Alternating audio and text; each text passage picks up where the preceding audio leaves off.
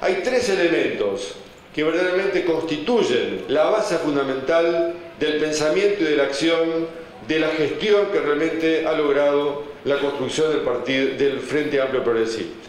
Primero, una mirada a largo plazo. Esto es inédito en el país. Todos están mirando los zapatos y nosotros queremos mirar el horizonte. Entonces, una mirada a largo plazo significa que Argentina queremos en un plazo prudencial que nos permita a nosotros trabajar en ese sentido. Y creo que este es un eje fundamental. El otro es mirar el territorio. Realmente Argentina es un país densamente poblado en los conurbanos de las ciudades, pero es un vacío demográfico que hay que llenar. Y ese vacío demográfico atenta contra la integridad del, del, del propio territorio de la nación. Ustedes saben que hoy, si hace falta espacios, hace falta espacio para vivir, y hace falta espacio para trabajar, y hace falta espacio para poder realmente consolidar propuestas de integración social, menos en Argentina, donde realmente tenemos un territorio vasto que está esperando que tengamos una acción territorial allí de acuerdo a las necesidades de cada lugar. Por eso es importante pensar el territorio en todas las dimensiones que significa lo económico, lo social y por supuesto lo cultural. Y el tercer aspecto que nosotros queremos también este, importante es una mirada integradora. Nosotros no nos podemos conformar con un sujeto sin entender el todo. Tenemos que entender que donde hay un niño que necesita hay un padre sin trabajo, hay una vivienda insalubre, falta agua potable, a veces los hijos o hijas trabajan en, en, en lugares y en formas realmente indecorosas. Bueno, creo que realmente tanto en lo político como en lo económico, como en lo social, como en lo cultural, tenemos que pensar en esta integración que realmente posibilita entender el todo. Por eso cuando nosotros hablamos de lo político, hacemos una señal muy clara. Necesitamos un país federal. El federalismo es la base fundamental del gobierno de la República Argentina, de acuerdo a la Constitución de 1853. Y por lo tanto, el federalismo no es simplemente una forma de repartir el dinero. Ese es un aspecto. Pero el federalismo, la esencia, es transferir a los lugares más cercanos de la gente las decisiones que se pueden resolver allí.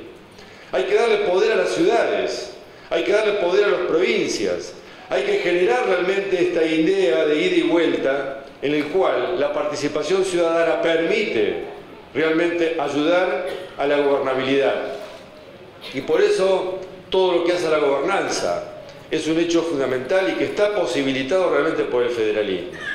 Resolver las cuestiones legal, localmente es realmente un gran paso, porque permite poner en eje cuáles son las prioridades, permite también la transparencia en el manejo de la cosa pública. Hay más veedores, hay más cercano a la gente, hay que explicarle a la gente de qué se trata una obra. Esto lo hemos hecho y se está haciendo en Rosario. Hay una pequeña obra de desagüe. ¿Cómo se plantea? Bueno, se hace una, una reunión en la vecinal y se explica que el caño que va de tal calle a tal calle tiene que tener un metro veinte de diámetro y que el que va de esa calle a la otra tiene que tener 80 centímetros y de la otra a la otra tiene que tener 60 centímetros. Bueno, esto es lo que le permite a la gente controlar lo que se hace. Porque una vez que están tapados los caños, realmente es muy difícil controlarlos. En cambio, si la gente controla mientras se va realizando, es mucho más fácil la tarea. Y también pensamos en las cuestiones económicas, porque la eh, regionalización y la posibilidad del desarrollo económico de las provincias y de las ciudades y de los pueblos ha demostrado realmente que es un factor importantísimo poder industrializar los productos primarios lo más cerca de su origen. Esa industrialización trae realmente un incremento de la riqueza y trae por supuesto trabajo.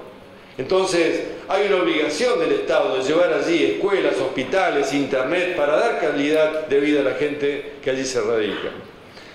Pensamos en lo social, porque esa mirada integradora se cumple si pensamos en todo lo que está escrito en el artículo 14b de la Constitución, que son los derechos, el derecho a la alimentación, el derecho a la educación, el derecho a la salud, el derecho al trabajo, el derecho a la jubilación. Hay que cumplir con los derechos y este es una de las piedras fundamentales que nosotros tenemos que perseguir como Estado, como gobierno, para llevar adelante una política que realmente integre socialmente al pueblo argentino.